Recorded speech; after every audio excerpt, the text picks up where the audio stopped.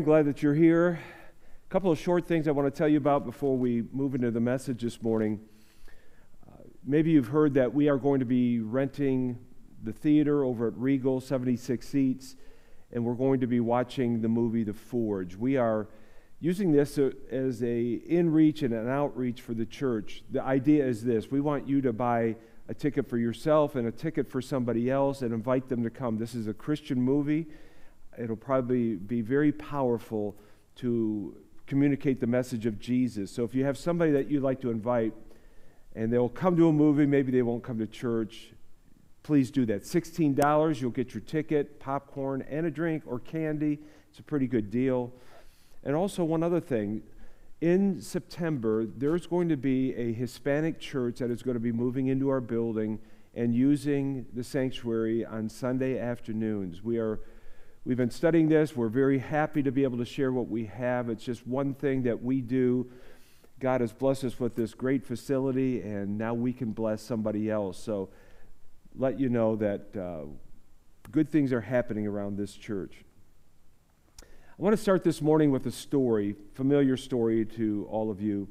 But once upon a time, there was an emperor who was obsessed with new clothing and looking absolutely the best. He spent a lot of money to look good. Well, one day a, con, a couple of con men show up, and they convince the emperor that they can make him a suit of clothing like no other clothing they've ever had. And these clothes would be so special because they would be invisible to the ignorant, the unworthy, and the unfit to lead. The king bought in. Silk was sent, the looms were sent. Suddenly, it looked like clothing was being made. But they were just pretending to make clothing. The king would send people over to make sure that the clothing was being made. But they couldn't see any clothing. But only the unfit and the unworthy couldn't see the clothing, and they didn't want to admit that. So they went back to the king and they told him, hey, it is amazing. They are doing a great job.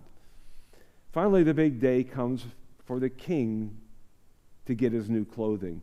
He arrives, but he couldn't see. He couldn't see the clothing himself. But he couldn't reveal to everybody that he was ignorant and unworthy and unfit. So he just took off his old clothes. The con men pretended to put the new clothes on him, and then a parade was held. Now, none of the people in the parade wanted to admit what they were looking at that they were seeing a naked king walking down the street, because that would then show their ignorance and their unworthiness and their unfitness. That happened until a little kid shouts out, The king is naked. He has no clothes on. Now, you think that would have done it, but it didn't. The emperor just stuck out his chest and he walked all the more proudly because at this point, what else could he do? We're living in a day where everything from politicians to educators to social media influencers, some, some even religious organizers, they're endorsing ideas and philosophies and beliefs that they're promoting as intellectual and cool, but they're nothing more than a naked emperor making its way through our culture. And because we don't want to look ignorant or unfit or unworthy, we don't speak up. We just go along with the charade. Probably today, transgenderism is one of the biggest ones that we're facing. I take my grandkids out in public and they see a man with a beard and a dress on, and their eyes open up, and it's like, what's that all about? But somehow we don't want to see this anymore. Well, we're starting a new series today called Defiant. Defiant means that we're not going to go along with the charade that the world is playing. Now, we don't have to be mean about this. But we don't have to play games and pretend that what we're seeing is intellectual or the truth. God's house is about the light, not protecting people who want to remain in their darkness.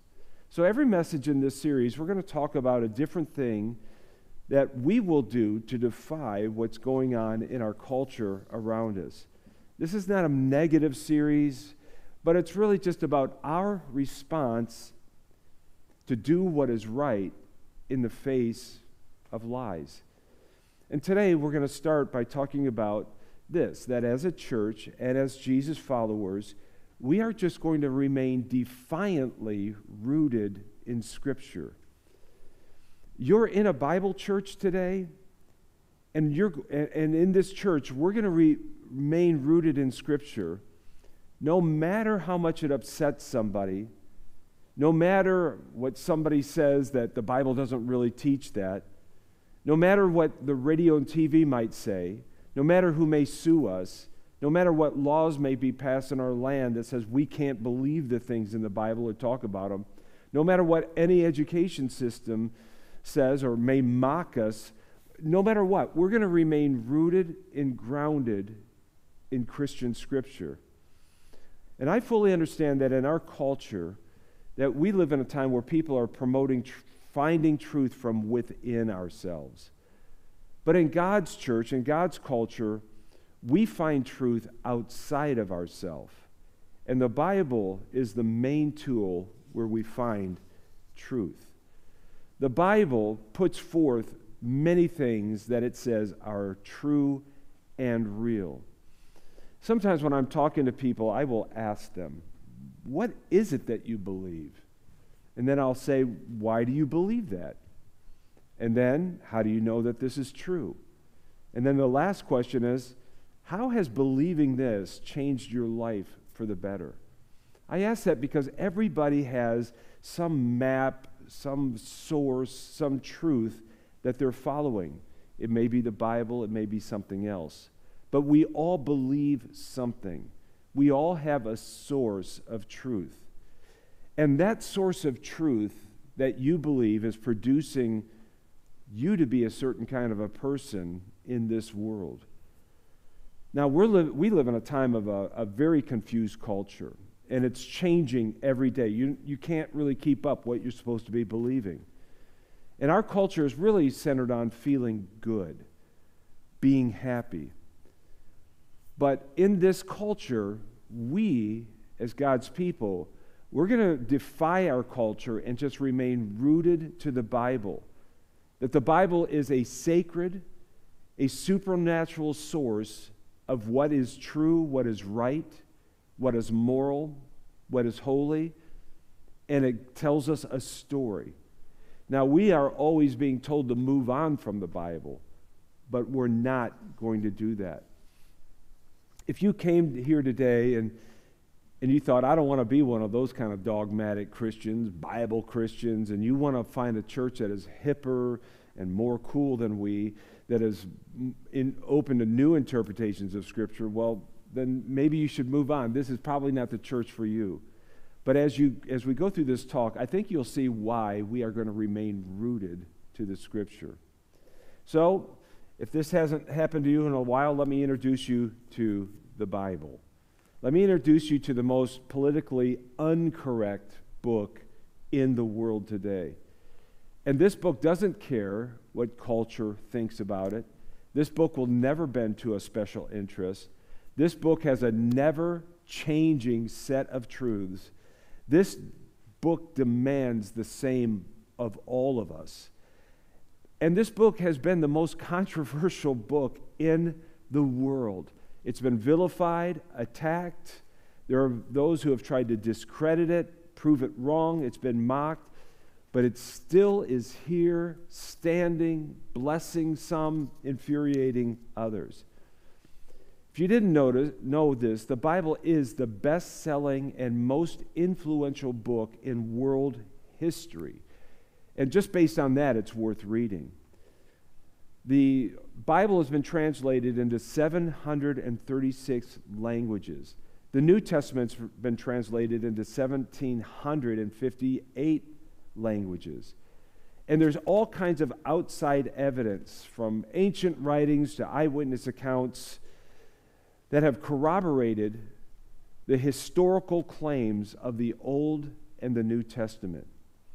Now, we, we believe that the Bible is a sacred and a holy book that has been divinely given to us by God to document God's work throughout human history. If you didn't know this, the Bible was written by more than 40 different authors over 1,500 years, but it has one unifying story the story of Jesus. In the Bible, God enters human history and he uses human authors to tell us that he wants us to have a relationship with him through Jesus Christ. The Bible makes claims about itself. It claims that it's a divinely written text. It claims that it is unique. It claims that it is like any, not like any other book in human history. When people read the Bible, they are deeply moved. Their lives are changed. They think differently. No other book has produced anything near like the Bible. Jesus himself believed the Bible. Jesus believed the story of Jonah. The Bible is about real people who lived in real time and impacted the history of the world. The core message of the Bible is how God created the universe and worked in history, how he made a covenant with Abraham and then his descendants, and eventually this led to the Messiah, Jesus Christ, coming into human history, who Jesus came to restore all things through his death and his resurrection. The Old Testament alone contains at least 121 prophecies that were spoken sometimes hundreds and thousands of years before Jesus was born.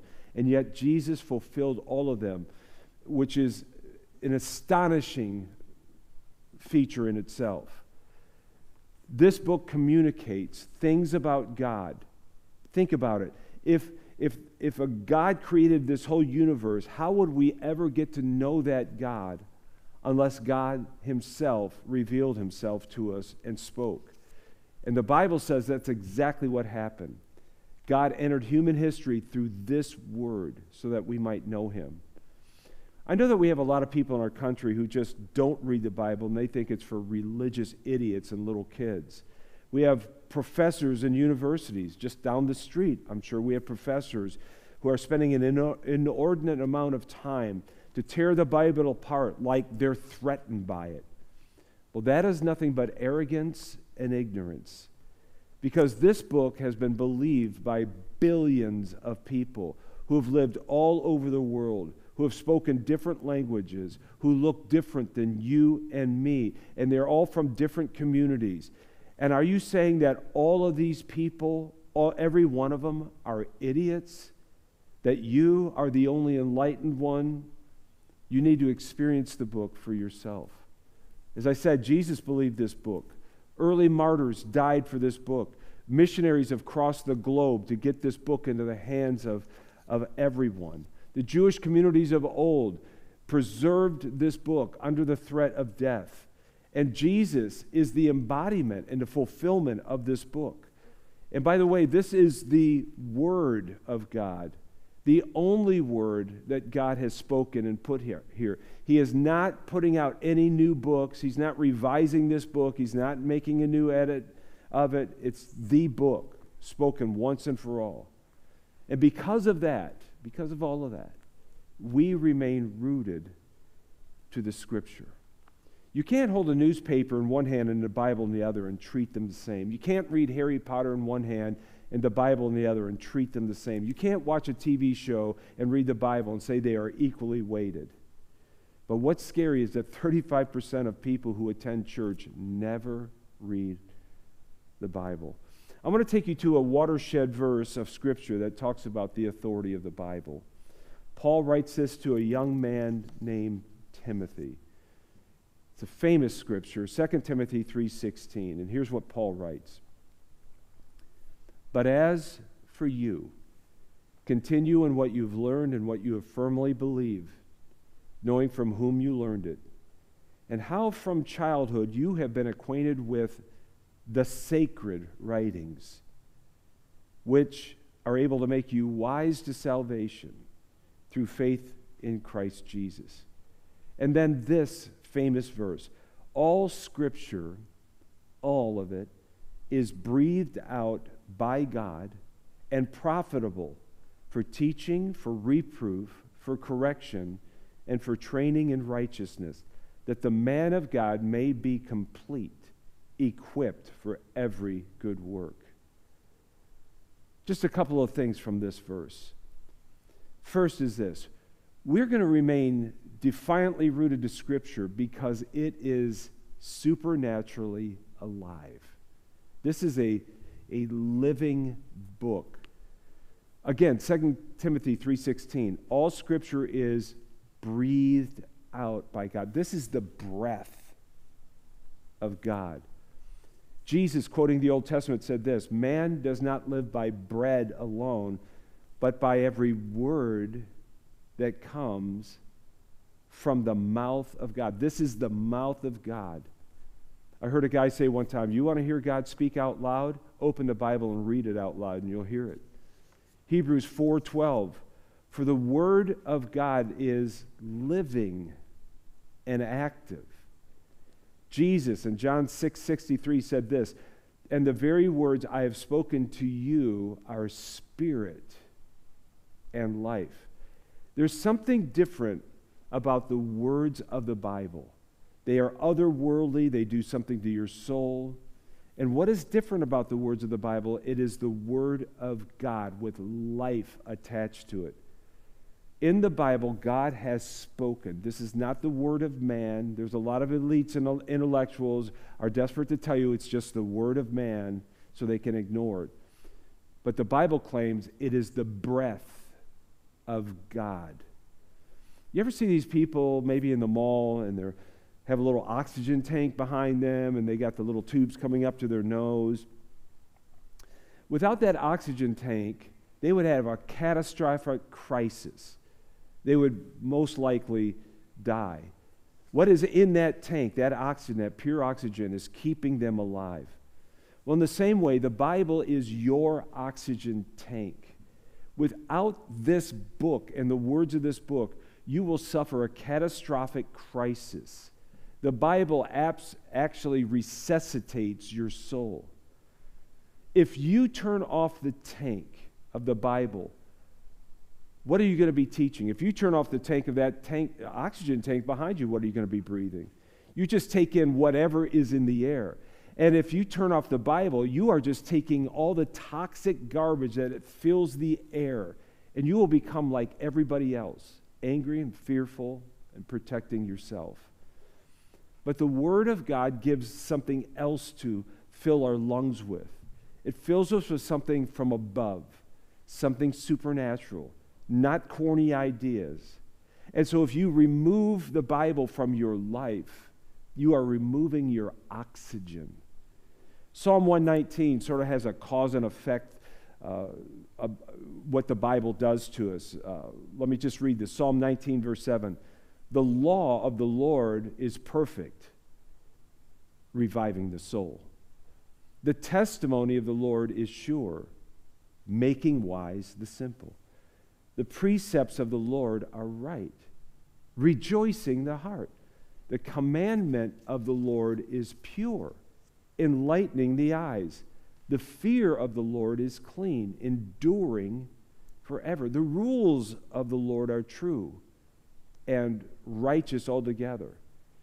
If I could paraphrase that, I would, I would put it this way if you want to feel better, if you want to see better, if you want to make better decisions, if you want to think better, then just get into the Word of God because it's all there. The Bible is alive. It's a book of light, it's a book of meat. It does surgery on your heart. It will create faith in you, it will give you peace. If you remove the Bible, you remove all of that. This book scares the devil, it scares a lot of people. It is the authoritative guide for the human race. It has been divinely authored by God, and it's the only, the only book that we follow. The Bible is like a lot of other books in that it has white pages and there's black printing on it. But in this book, God is communicating information that will change you. One time, Jesus walked into this pool, this place where there was a pool. There's a lame man sitting there, and so Jesus looked at him and said, Get up, take up your pallet, and walk. The moment the word, the words of Jesus were spoken, there is in the air at that moment the ability for a miracle. His words created a new reality for this man. It was just up to him to make a move to believe it. And when he did believe it, his bones started working, his muscles started working, everything changed in that moment. Now, I could have gone into that pool and said those words get up, take up your pallet, and maybe it would have worked, maybe it wouldn't have worked, maybe you could say those words if you want, but I'm just saying this when Jesus says the words, it has all the authority and the weight of heaven. And so in the Bible, you have the word of Jesus, the word of God. And just like that man by that pool, all you have to do is reach out and act and believe upon them, and everything changes. So in the Bible, God has spoken. He has spoken His will, He's in His mind, His heart. He's spoken His law, His rules, His promises. He has spoken His warnings. He has spoken correction, wisdom, and insight. He has spoken of events to come. He has spoken uh, what is going to be established. He has defined the terms of life in this book. He always accomplishes what he says he will do. There's no error, no need for correction. And as God spoke these things, man wrote them. And so we have the whole counsel of God.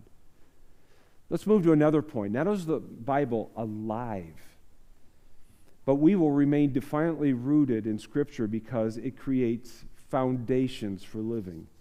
It's something we call doctrine. Back to 2 Corinthians 3:16. All scripture is breathed out by God and profitable for teaching or doctrine. We just want to spend a couple of minutes here because the breath of God isn't just for inspiration, it's for doctrine. Doctrine uh, is the foundational truths of life. Doctrine is like the rules for everything. So when God told Joshua to lead the people into the promised land, do you remember what God did? He said to Joshua, As I was with Moses, I will be with you. He breathed out his word, and that inspired Joshua. But those words also became the foundational truth or the doctrine of Joshua's life. And wherever he went, he said this As God was with Moses, he is with me. That's what it does. It inspires you, and then it becomes your foundation. Doctrine answers the big questions why are we here? Why is this world the way that it is? What has God done to fix the world through Jesus? And what are we supposed to be doing now that Jesus has come? Doctrine answers the question why there's suffering in the world. Doctrine answers the question why Jesus had to come in the first place. Doctrine is like the heavy steel girders of a building that just holds up the whole structure. And the doctrine are the things that you must believe. You must believe if you call yourself a Christian. If you are a follower of Jesus, it matters what you believe. You can't just believe anything and call yourself a Christian. You don't get to pick and choose the parts of the Bible that, that are for you and the parts that are not for you. We are told that in the scripture we have the teachings God wants us to follow. And this doctrine reveals the nature of God, the character of God, what we're to believe, what we're to do, what is the will of God for us. Doctrine is hard and it's unbending truth. It's truth. And like gravity, you just ignore it at your own peril. You can say you don't believe in gravity, but that does not change the fact that gravity is going to work. And doctrine is the truth about everything. Listen to Jesus, John 17, 17. Sanctify them in the truth. Your word is truth. Isaiah 48. The grass withers, the flower fades, but the word of our God will stand forever. God's word will never pass away. It will never be changed. It will never be altered. God has never had to retract anything that he said. God's word has never had to be edited. But let's just admit the fact that God's word speaks many hard truths into our life, into our culture. That's why we want to be rooted to the word of God because it is the truth. Even when the truth is, is not what we want it to be. But truth is what is real. Truth is what's always going to stand, again, like gravity. You can deny it, but it's still going to work. And here's the thing when you remove the Word of God, you are removing the foundations and you are removing the truth. Let me, let me give you an illustration of this. If you lose the Bible, you lose the creation story. So now that you don't have a creation story, that God in His love created this world to have a relationship with you, you have to replace that story with another story. So, what do we replace it with in our world? We replace it with evolution. That you are an accident, that everything's an accident, that there's nothing worth living for, that you're going to die and be worm food. Now, that doesn't sound like a better story to me. If you lose the Bible, you lose the story in Genesis about family and marriage and gender and the meaning of sex. And so, if you lose this, this story of marriage, that God wants a man and a woman to come together to start a family, which is the building block of, of all society, and that there's only two genders, it, if you lose that, then you have to have another story. And so now we have the world making another story that marriage doesn't matter. It's just a social construct. That family, why have kids when you can have pets? And by the way, if you have kids, we'll raise them for you in our schools. And gender, you lose gender. And now gender is just meaningless. And I just want to say to you this that because of our confused world that has lost the story, the doctrine of why we're uh, of gender, now we have 9, 10, 11, and 12 year olds being counseled in school that, yes, maybe they have been born in the wrong body and they are being physically mutilated through surgeries that will shorten their lifespan. And in 10 years, they're not going to want to be in that body anyways. They want to go back to what they were, and then it's too late. That's what you get. When you lose the Bible, you lose the sanctity of life that every person is created in the image of God and every life is sacred. And so if you lose that story, you got to come up with another story. And so the story in our world is the story of death, abortion, war, racism, putting people in classes. When you lose the Bible, you lose the story of sin and, and how sin has impacted the world, and none of us are right. And when you lose the story of the Bible, you lose the story of the devil. If you don't have a devil, people make up their own devil. So the Republicans are the devil, or the Democrats are the devil, or my neighbor is the devil. But whenever you lose the story or the doctrine of the Bible, you have to replace it with a worse story.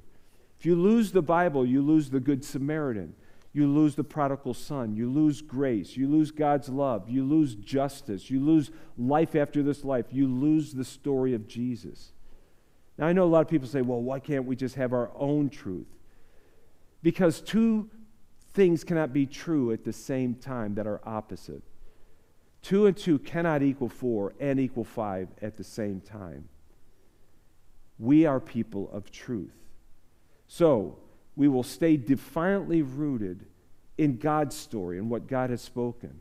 And this is not going to change. We're going to hold this ground no matter what happens in our culture we are going to hold on to the truth of the Bible that has stood for thousands of year, of years. Even in a culture today that wants to redefine everything, we will stay rooted to the Bible. And by the way, sometimes this is going to make people mad. It even makes church people mad sometimes, but it all comes down to this God has spoken in this book. And he's spoken what he wants to happen, what he wants to do, who he's going to bless, who's not going to be blessed, how the end comes, how we stand before him. And we're going to even be judged by what is written in this book. So, who are you going to trade this book for? What are you going to trade this story for? Some dead religious figure or philosopher? And, and let's just be clear when God has spoken, He spoke perfectly, He spoke completely, He spoke precisely. And what He has spoken will never change. It's not going to be any more than it says now, it's never going to be anything less than what it says now. And what He says will always be in effect. It will always produce results. It will always guide rightly. It'll always lead you to a fruitful life. It will always work. It'll always be true. It'll always be the final word. What God has spoken is not going away. One last thing here. 2 Timothy 3:16 says all scripture is breathed out by God. It's profitable for doctrine, for the stout things that we believe. Then it goes on with a, a whole list. It's also good for reproof, correction, for training in righteousness, that the man of God may be complete and equipped for every good work. The Bible can be hard because the Bible is confrontational to us so often. I would say this that when you read the Bible, it's going to be like going to a rehab center. After Nancy had heart catheterizations, we'd often, often be sent to a class or some kind of thing to get us to think differently. They sometimes take this five pound blob of junk and throw it down in front of us and say, That's five pounds of fat right there, and you need to get rid of that out of your body. And then they would talk about how to eat different and how to sleep different and how to exercise different in order to lose some things and to gain other things. And what, this is exactly what the Bible does to us. The Bible is going to challenge us, it's going to teach us, it's going to correct us, it's going to equip us, it's going to renew our mind, it's going to renew our heart, our behavior, our soul, our social context, everything. And then Paul says, when this happens, the man of God will be complete, and the woman of God will be complete and equipped for whatever it is that God wants to accomplish in us and through us and whatever we meet in life. Such is the power of the Word of God. It tells us how to talk, it tells us how to love, it tells us how to forgive, it tells us how to give, it tells us how to fight, it tells us what kind of spouse we're to be.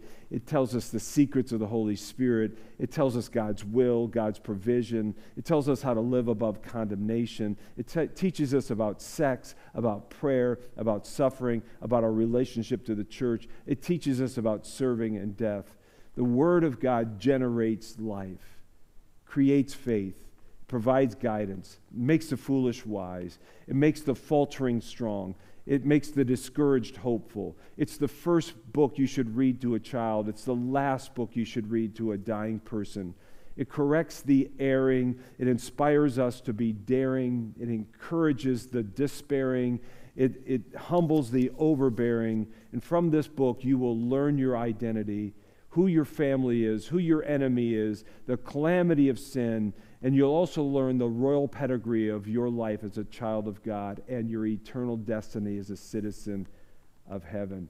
But most of all, here you will meet Jesus, who alone mastered life and conquered death. We will remain rooted to the Word of God. Join me in prayer. Father, we thank you for the power of your Word now through this church and in these people and these that are listening, we pray that you will give us a renewed love for your words. For in those words is our life and doctrine and foundation and power and equipping and completion for our own lives. Father, help us to pick up, pick, pick up this word and devour it. In Jesus' name, amen. Good morning, Riverside. Here's your announcements.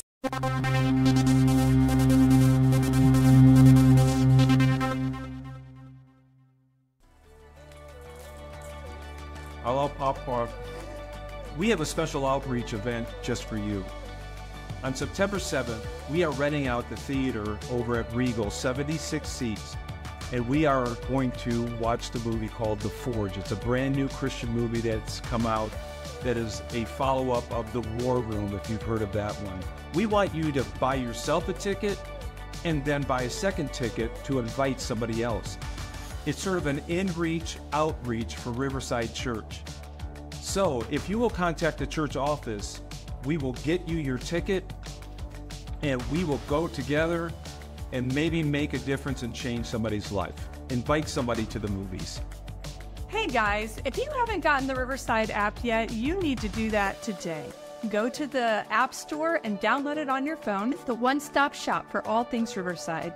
You can give, you can sign up for events, all kinds of things. See our calendar. So go ahead and do that today. Riverside has several ways for you to give. You may wonder why we don't pass an offering plate. A lot of that stuff went away during COVID. But we have a QR code here that you can use to give, or you can give in one of our offering boxes. That's what I do. You can just give online. There are lots of ways to give. I encourage you to give to the church that you love that is growing you and helping you spiritually. Come aboard with us financially. We invite you to join us for our upcoming Lunch and Learn, a Welcome Riverside class. This is the perfect opportunity to get to know us better and learn about Riverside. We believe that church is more than just a place to attend, it's a family to belong. Don't miss out. Register today for your next Lunch and Learn.